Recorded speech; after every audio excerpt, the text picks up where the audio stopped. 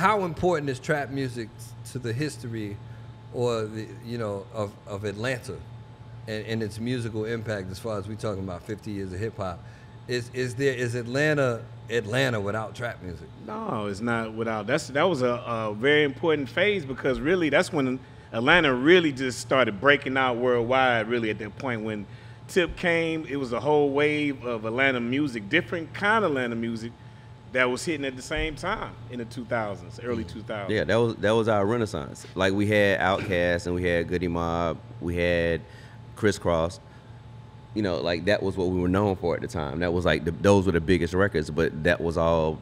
If you look at it, that was professional and shiny, whereas trap music kind of represented the other side of Atlanta.